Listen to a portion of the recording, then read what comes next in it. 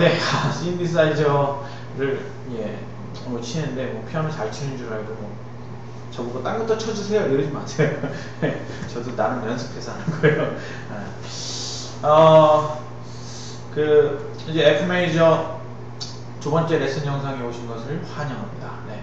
어, 두 번째 영상은요, 뭐 다른 거 아니고 그냥 모범 영상이라고 할 수 있습니다. 그냥 어, 여러분들 그냥 편안하게 들으셔도 되고 음, 아, 어떻게 하는가 곰곰이 이렇게 지켜보시기도 하면 되겠습니다. 어, 2번 여러분들께 어, 불어드릴게요. 뭐 이쯤에서 박수도 치시더라고요. 혼자 계시는데 박수 치면은 네. 네. 다른 사람들이 뭐라 그럴, 그럴 수도 있는데 네. 자 그러면은 자 제가 정식으로 2번 2번 영상을 하도록 하겠습니다. 인사하도록 하겠습니다. 이제 제가 인사할 테니까 박수 한번 치시고 네, 감사합니다. 생각보다 이게 되게 뻘쭘해요. 여러분들이 많이 웃어주시고 댓글도 많이 달아주셔야 제가 이런 거 많이 할 수 있습니다. 네. 어, 더워.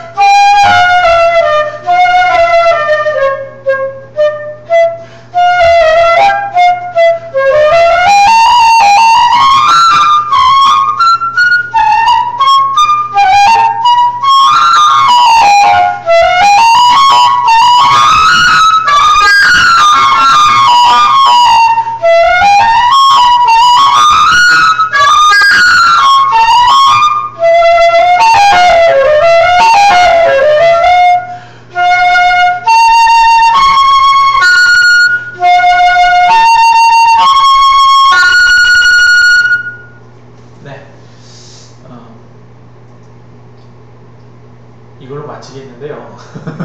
일단은 여러분들한테 이제 계속 이렇게 연주를 해드릴 때마다 느끼는 것을 한 가지만 말씀드리고 끝낼게요. 어, 연주를 하실 때는 본인의 느낌, 감정을 그대로 표현하시는 게 굉장히 중요합니다. 그렇지만 어, 엉뚱하게 생뚱맞게 어, 표현을 하시는 분들이 좀 종종 있어요. 어떤 거냐면 이런 겁니다.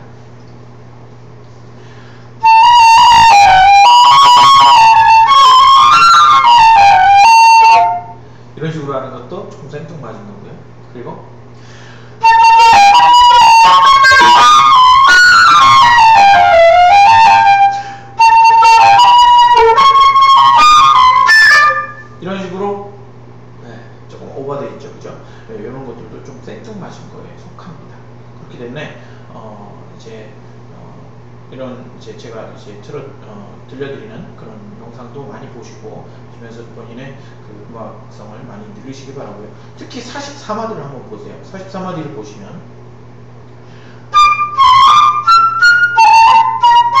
이렇게 나와 있잖아요, 그죠?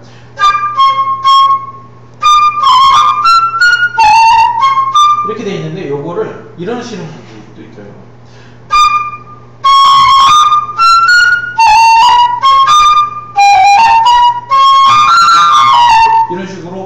엇박이 돼버리는 경우가 있습니다. 네, 그렇기 때문에 어, 이제 음, 이제 메트로놈을 가지고 연습을 하시는 게 가장 좋은 방법이고요. 네, 어떤 분은 여기다가 메트로놈 심겠다는 분들도 계시더라고요. 네, 그렇게 해서 어쨌든 메트로놈으로 연습하는 게 최고입니다.